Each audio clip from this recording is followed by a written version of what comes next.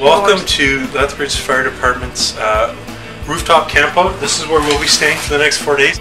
Watch your head coming up too. Beautiful.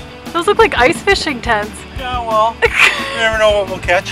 The bonus is you don't have to do laundry up here Well, I don't have to do any laundry because I'm not going to get changed. I'll probably just wear all the clothes. for four days. Well, it's a battle. It's a one bedroom, uh, no bath, and it should sleep five guys quite comfortably. Let's show you. Oh, Riley, put your shirt back on. Boys, I'm just kidding. Come on in. As you can see, it's quite comfy. We have a coffee maker. That's a bonus.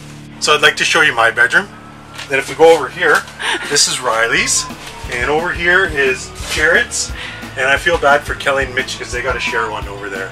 Oh yeah, the next spot is the, uh, the bathroom and kitchen area. You gotta knock because there's kind of five of us sharing this.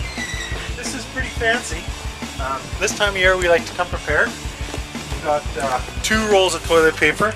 Not sure. I don't think what- that's enough Well, maybe. days. This is so we all look really pretty in the morning for each Good. other. And uh, here's the kitchen. We haven't really got it set up yet, but the best part about this kitchen is the uh, the space. Thanks for checking our pad out here. Um, unfortunately, you can't stay. You don't have to go home. I don't care where you go. Just get it off the roof.